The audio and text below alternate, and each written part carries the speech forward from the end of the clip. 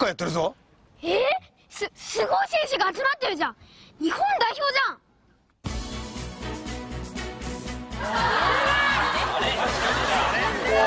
香川宇佐美長友。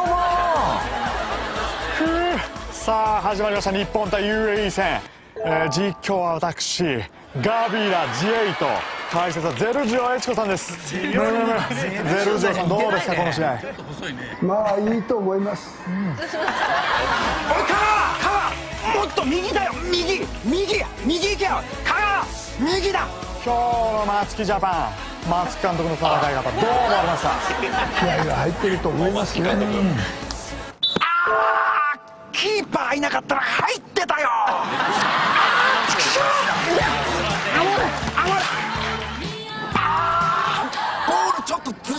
よね。あーちくしょう来たる9月1日。日本対 UAE 戦がありますが松木安太郎さん見どころをお願いします。ムムム。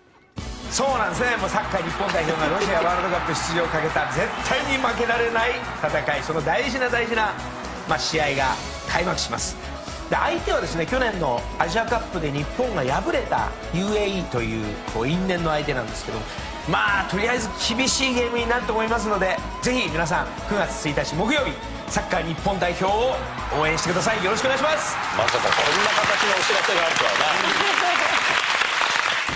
な。暑い時期のスポーツ観戦。もしもこんな事態になってしまったら。急に気分が悪くなってきた大丈夫ですか？大丈夫ですか？大丈夫ですか？大変。これは熱中症じゃない？熱中症による脱水症状の疑いが。そんな時は。大丈夫だよ。